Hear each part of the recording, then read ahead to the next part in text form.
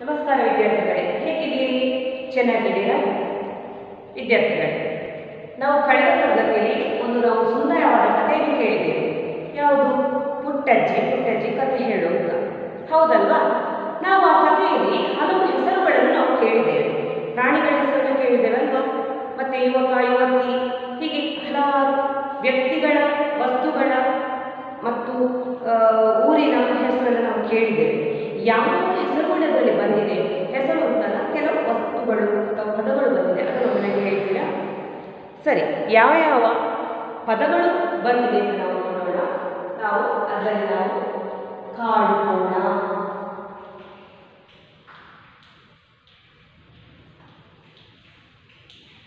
ಕರಡಿ, ನದಿ, ಬೆಟ್ಟ ಹುಲಿ ಹಳ್ಳ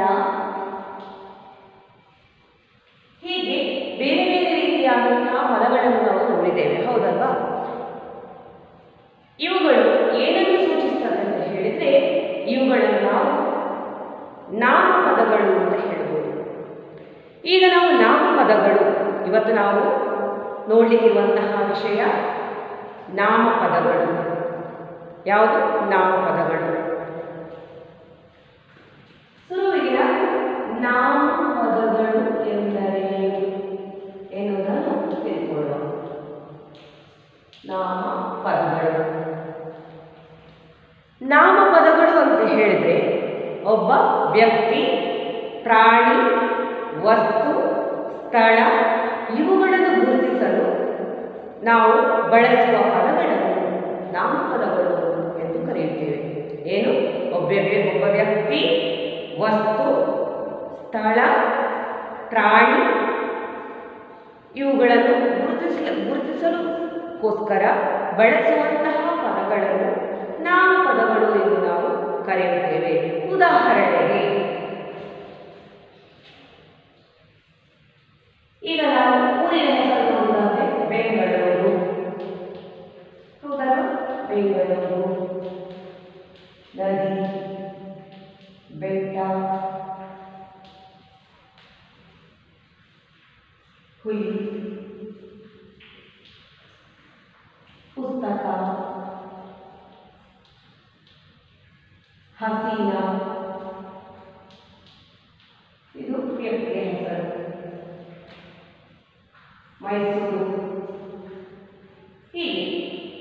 ಬೇರೆ ಬೇರೆ ರೀತಿಯ ಹೆಸರನ್ನು ನಾವು ಕಾಣ್ತಾ ಇದ್ದೇವೆ.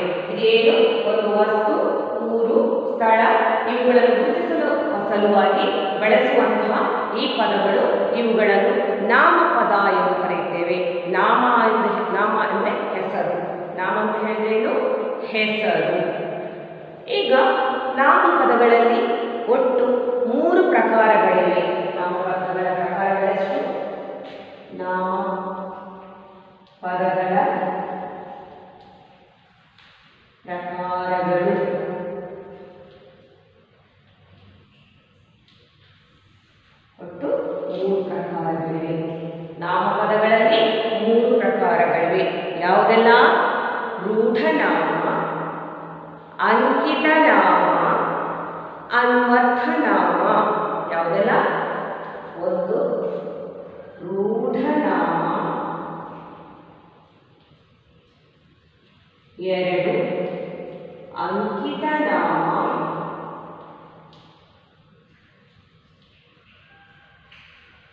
ಮೂರು ಅನ್ವರ್ಥನಾಮ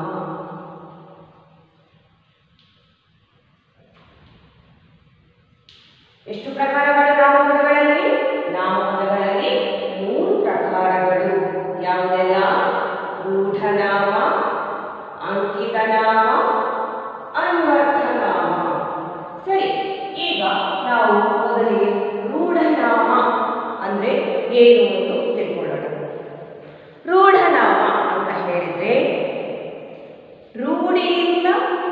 ಬಂದಂತಹ ಪದಗಳನ್ನು ರೂಢನಾಮ ಎಂದು ಕರೆಯುತ್ತಾರೆ. ರೂಢಿಯಿಂದ ಬಂದಂತಹ ಪದಗಳನ್ನು ರೂಢನಾಮ ಎಂದು ಕರೆಯುತ್ತಾರೆ. ಹಾಗಾದರೆ ರೂಢನಾಮಕ್ಕೆ ಕೆಲವೊಂದು ಉದಾಹರಣೆಗಳನ್ನು ನಾವು ನೋಡೋಣ. ರೂಢಿಯಿಂದ ಅಂತ ಹೇಳಿದ್ರೆ, ಇವಾಗ ನಾವು ಅಂತ ಹೆಸರುಗಳಲ್ಲ. ಈಗ ನಾವೇನು ಹೆಸರಿರ್ತೇವೆ ಒಂದು ಮಗು ಹುಟ್ಟಿದಾಗ ರಮೇಶ್ ಅಂತ ಇರ್ತೇವೆ ಅದು ನಾವು ಹೊಸದಾಗಿ ಯಾವುದಾದ್ರೆ ಅಂಜಲಿ ಅಂತ ಹೇಳ್ಬೋದು. ಅದು ನಾವು ಹೊಸದಾಗಿ ಇಟ್ಟಂತ ಹೆಸರು. ಅಥವಾ ಒಂದು ನದಿಗೆ ಏನು? ನದಿ ನದಿ ಸಾಮಾನ್ಯವಾಗಿ ಎಲ್ಲ ನದಿಗಳನ್ನು ಹೊಳೆಗಳನ್ನು ನದಿ ಅಂತ ಹೇಳ್ತಾರೆ ಅಥವಾ ಹೊಳೆ ಅಂತ ಹೇಳ್ತಾರೆ. ಆದರೆ ಅವುಗಳಿಗೆ ಬೇರೆ ಬೇರೆ ರೀತಿಯ ಹೆಸರುಗಳಿರ್ತದೆ.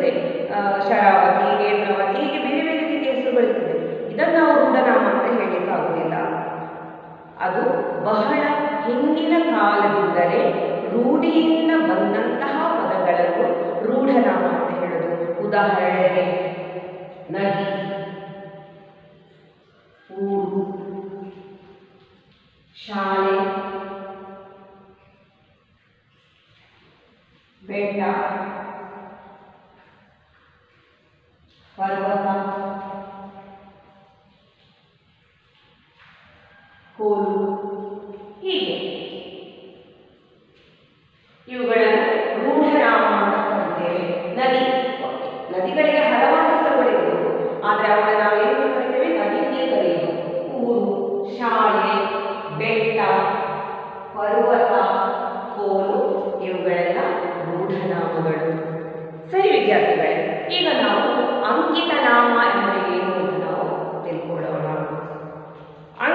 ನಾಮ ಅಂತ ಹೇಳಿದ್ರೆ, ಒಂದು ವ್ಯಕ್ತಿಯ ಅಥವಾ ಸ್ಥಳದ ಗುರುತಿಗಾಗಿ ಅಥವಾ ವ್ಯವಹಾರಕ್ಕಾಗಿ ಇಟ್ಟುಕೊಂಡಂತಹ ಹೆಸರುಗಳನ್ನು ಅಂಕಿತ ನಾಮ ಎಂದು ಕರೆಯುತ್ತಾರೆ ಏನು ಒಬ್ಬ ವ್ಯಕ್ತಿಯ ಸ್ಥಳದ ವಸ್ತುವಿನ ಗುರುತಿಗಾಗಿ ಅಥವಾ ವ್ಯವಹಾರದ ಉಪಯೋಗಕ್ಕಾಗಿ ಇಟ್ಟುಕೊಂಡಂತಹ ಹೆಸರುಗಳನ್ನು ಅಂಕಿತ ನಾಮ ಕರೆಯುತ್ತಾರೆ ಉದಾಹರಣೆಗೆ, ಈಗ ನಮ್ಮ ಶಾಲೆ, ಈಗ ನಮ್ಮದು ಶಾಲೆ ನಾವೆಲ್ಲ ವಿದ್ಯಾಭ್ಯಾಸಕ್ಕೆ ಎಲ್ಲಿಗೆ ಬರ್ತಿದ್ದೇವೆ ಶಾಲೆಗೆ. ನಮ್ಮ ಶಾಲೆ ಹೆಸರೇನು? ವಿದ್ಯಾರಶ್ಮಿ ವಿದ್ಯಾಲಯ ನಮ್ಮ ಶಾಲೆ ಹೆಸರೇನು ವಿದ್ಯಾರಶ್ಮಿ ವಿದ್ಯಾಲಯ ವಿದ್ಯಾರಶ್ಮಿ ಎನ್ನುವುದು ಅಂಕಿತ ನಾಮ ನಮ್ಮ ಶಾಲೆಗೆ ಇಟ್ಟಂತಹ ಹೆಸರೇನು ವಿದ್ಯಾರಶ್ಮಿ ಹಾಗಾದರೆ ವಿದ್ಯಾರಶ್ಮಿ ಅಂಕಿತ ನಾಮ ಮತ್ತೆ ಸರೋಜ ರಮೇಶ ಹಸೀನಾ, ರಶೀದ್ ಇವುಗಳೆಲ್ಲ ಒಬ್ಬ ವ್ಯಕ್ತಿಗೆ ಇಟ್ಟಂತಹ ಹೆಸರುಗಳು. ಇವುಗಳನ್ನು ನಾವು ಅಂಕಿತ ಅಂತ ಹೇಳ್ತೇವೆ. ರಮೇಶ, ಹಸೀನಾ. ಆಮೇಲೆ ಊರಿಗೆ, ಹಲವಾರು ಊರುಗಳಿದೆ. ಎಲ್ಲವೂ ಒಂದು ಊರು ಊರು ಅಂತ ಹೇಳಲಿಕ್ಕೆ ಆಗ್ತದ? ಆ ಊರು, ಈ ಊರು, ಹಿಂದಿನ ಊರು, ಮುಂದಿನ ಊರು ಅಂತ ಹೇಳಿದ್ರೆ ಅರ್ಥ ಆಗ್ತದ? ಇಲ್ಲ. ಆ ಊರಿಗೆ ಒಂದು ಅದರ ಗುರುತಿಗಾಗಿ ಆ ಹೆಸರನ್ನು. ಈಗ ನಾವು ಮೈಸೂರಿಗೆ ಹೋಗಬೇಕು. ಎಲ್ಲಿಗೆ ಹೋಗ್ತೀವಿ ಅಂತ ಕೇಳಿದ್ರೆ, ನಾವು ಎಲ್ಲ ಕಡೆ ಹೋಗ್ತಾ ಇದ್ದೇವೆ ಅಂತ ಹೇಳಿದ್ರೆ ಯಾರಿಗಾದ್ರೂ ಅರ್ಥ ಆಗ್ತದಾ? ಆ ಕಡೆ ಹೋಗ್ತಾ ಇದ್ದೇವೆ, ಈ ಕಡೆ ಹೋಗ್ತಾ ಇದ್ದೇವೆ ಅಂತ ಹೇಳಿ ಹೇಳಿದರೆ ಯಾರಿಗಾದ್ರೂ ಅರ್ಥ ಆಗ್ತದ? ಇಲ್ಲ. ನಾವು ಮೈಸೂರಿಗೆ ಹೋಗ್ತಾ ಇದ್ದೇವೆ, ಅಥವಾ ನಾವು ಮಡಿಕೇರಿಗೆ ಹೋಗ್ತಾ ಇದ್ದೇವೆ, ಅಥವಾ ನಾವು ಮಂಗಳೂರಿಗೆ ಹೋಗ್ತಾ ಇದ್ದೇವೆ. ಇದೆಲ್ಲ ಊರಿನ ಹೆಸರುಗಳು. ಹಾಗಾದರೆ ಊರಿನ ಹೆಸರು ಬಂದಾಗ ಮಂಗಳೂರು.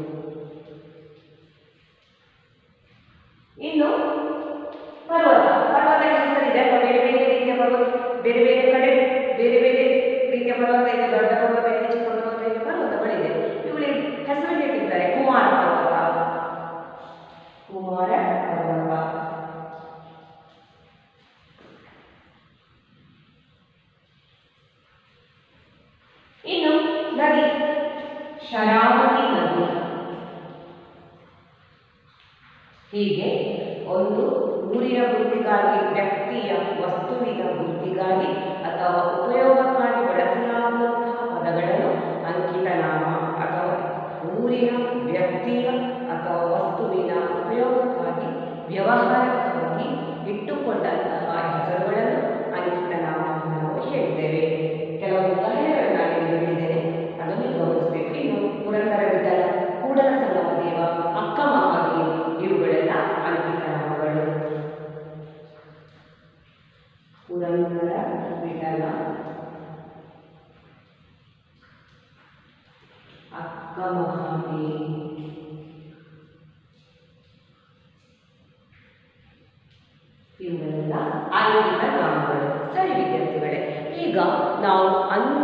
ಅನ್ವರ್ಥನಾಮ ಅಂದರೆ ಏನು ಅಂತ ನಾವು ತಿಳ್ಕೊಳ್ಳುವ.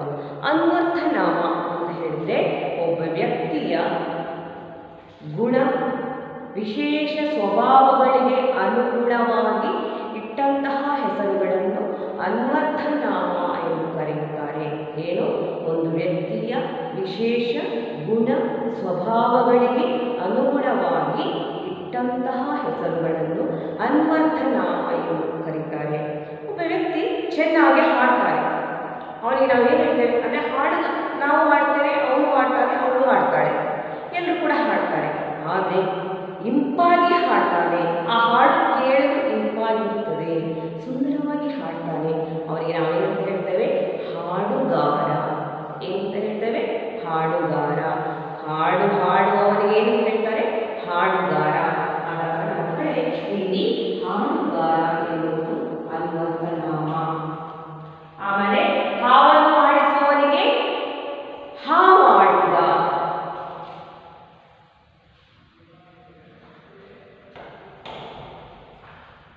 ಹಾವಾಡಿಸುವವನಿಗೆ ಏನು ಹೇಳ್ತಾರೆ?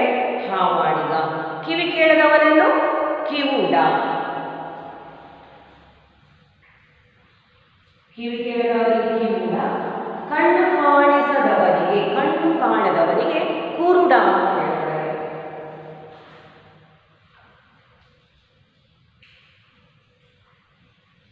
ಹೀಗೆ ಇವುಗಳನ್ನು ಅನ್ವರ್ಥನಾಮ ಎಂದು ಕರೆಯುತ್ತಾರೆ. ವಿದ್ಯಾರ್ಥಿಗಳೇ, ಈಗ ನಾವು ನಾಮಪದಗಳ ಬಗ್ಗೆ ನಾವು ತಿಳ್ಕೊಂಡೆವು ಪುನಃ ಅದರ ಬಗ್ಗೆ ನೋಡೋಣ ನಾಮಪದಗಳು ಎಂದರೆ ಏನು ನಾಮಪದಗಳು ಅಂದ್ರೆ ಏನು ಒಬ್ಬ ವ್ಯಕ್ತಿ, ಪ್ರಾಣಿ, ವಸ್ತು, ಸ್ಥಳ, ಇವುಗಳ ಇವುಗಳ ಗುರುತಿಗಾಗಿ ಅಥವಾ ಇವುಗಳನ್ನು ಗುರುತಿಸಲು ಬಳಸುವಂತಹ ಪದಗಳನ್ನು ನಾಮಪದ ಎಂದು ಕರೆಯುತ್ತಾರೆ. ನಾಮಪದಕ್ಕೆ ಉದಾಹರಣೆ, ಬೆಂಗಳೂರು, ನದಿ, ಬೆಟ್ಟ ಹುಲಿ ಪುಸ್ತಕ, ಹಸೀನ, ಮೈಸೂರು. ಇದೇ ರೀತಿ ನಾಮಪದಗಳಲ್ಲಿ ಮೂರು ಪ್ರಕಾರಗಳಿವೆ. ನಾಮಪದಗಳಲ್ಲಿ ಎಷ್ಟು ಪ್ರಕಾರಗಳಿವೆ?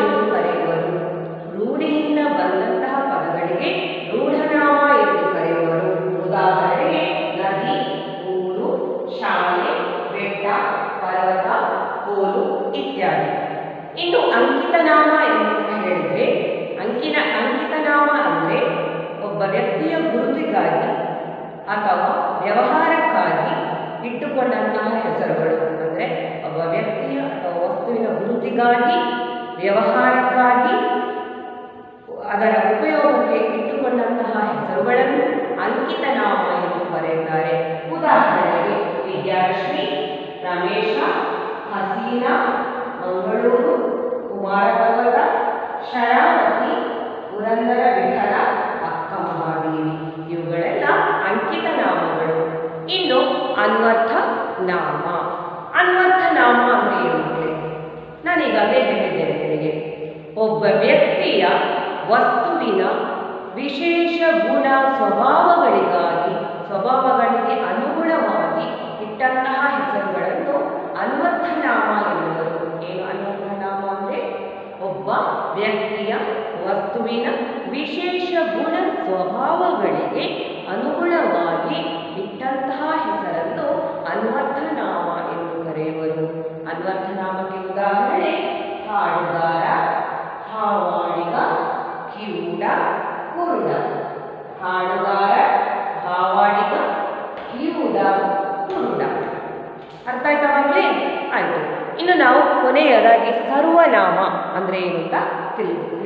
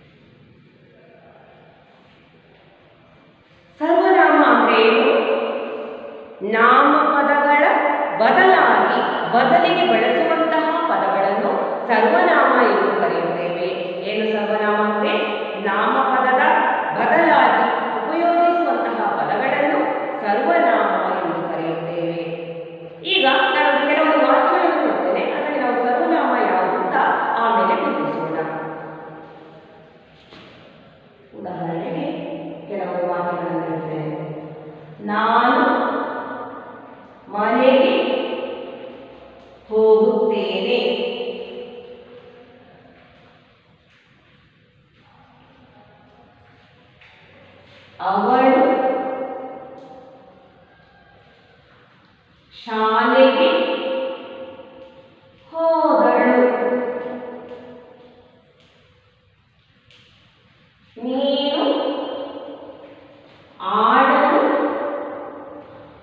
ಬರುತ್ತೀಯಾ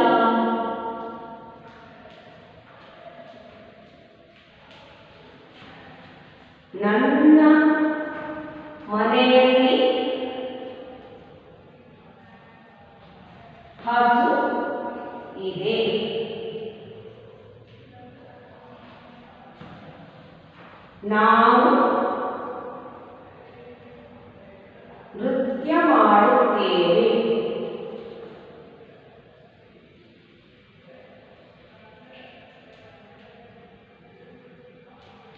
Now, Nithya Mardu Devi.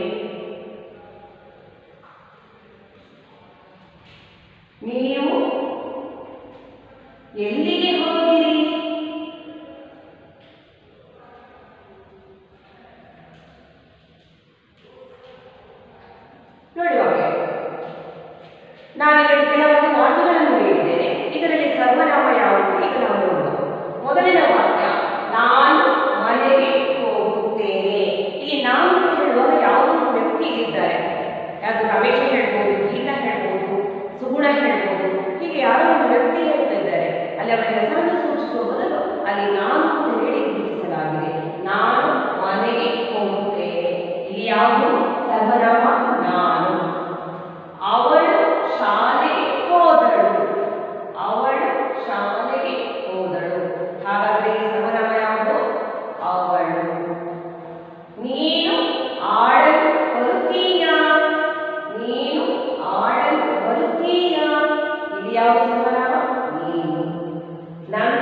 ಮನೆಯಲ್ಲಿ ಹಸು ಇದೆ. ನನ್ನ ಮನೆಯಲ್ಲಿ ಹಸು ಇದೆ. ಇದು ಯಾವ ನಮ್ಮ ನಾವು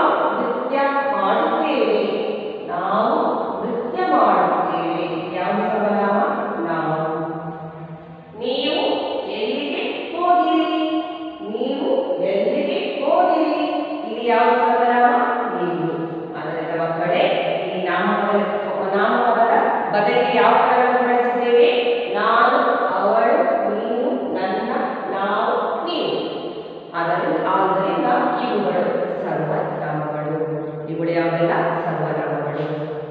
ಈಗ ನಿಮಗೆ ನಾಮಪದಗಳು ಎಂದರೆ ಏನು ಗೊತ್ತಾಯ್ತಲ್ವಾ ನಾಮಪದಗಳೆಂದರೆ ಸರ್ವನಾಮ, ಸರ್ವನಾಮಗಳೆಂದರೆ ನಾಮಪದದ ಬದಲಿಗೆ ಬಳಸುವಂತಹ ಪದಗಳನ್ನು ಸರ್ವನಾಮ ಅಂತ ಹೇಳ್ತೀವಿ ಯಾವುದೆಲ್ಲ ಸರ್ವನಾಮ? ನಾನು, ಅವಳು, ನೀನು, ನನ್ನ, ನಾವು ನೀನು ಇಂತಹ ಪದಗಳನ್ನು ಸರ್ವನಾಮ ಎಂದು ಕರೆಯುತ್ತೇವೆ. ಈಗ ಗೊತ್ತಾಯ್ತಲ್ಲ ಆಯ್ತು ಮಕ್ಕಳೇ. ಇದರ ಬಗ್ಗೆ ಚೆನ್ನಾಗಿ ಅರ್ಥ ಮಾಡಿಕೊಂಡು ಮನನ ಮಾಡಿಕೊಳ್ಳಿ ಮುಂದಿನ ತರಗತಿಯಲ್ಲಿ ಭೇಟಿಯಾಗೋಣ.